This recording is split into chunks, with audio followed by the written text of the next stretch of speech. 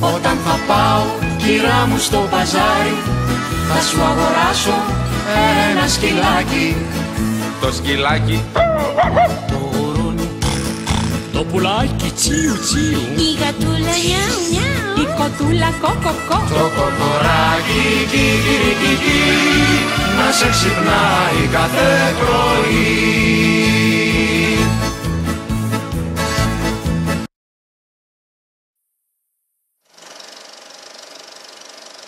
Η Τίγρης Η Τίγρης είναι μια ραβδοτή γάτα, μόνο που είναι μεγάλη. Είναι η μεγαλύτερη γάτα στον κόσμο και έχει ένα κόλπο. Μπορεί να βλέπει στο σκοτάδι. Ζυμώνει. Δεν θέλει άλλη τίγρης στο σπίτι της. Αν μια αρσενική συναντήσει μια άλλη, αρχίζουν να μαλώνουν γιατί είναι αντίπαλοι. Αλλά αν μια αρσενική συναντήσει μια θηλυκή, τότε είναι ολοχαρές. Και έτσι γεννιούνται τα τυγράκια. Τα τυγράκια χοροπηδάνε και παίζουν ή πάνε για κολύμπι. Και αυτά παλεύουν. Αλλά δεν πονάνε το ένα το άλλο γιατί κρύβουν τα νύχια τους.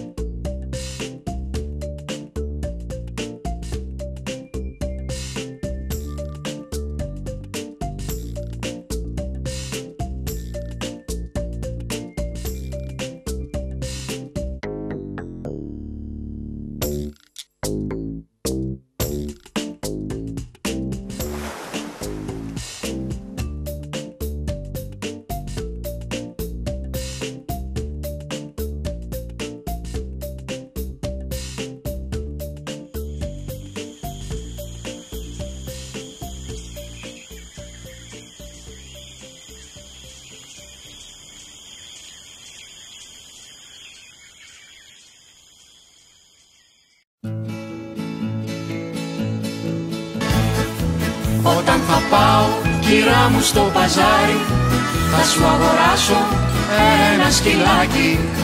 Το σκυλάκι. Το γουρούνι.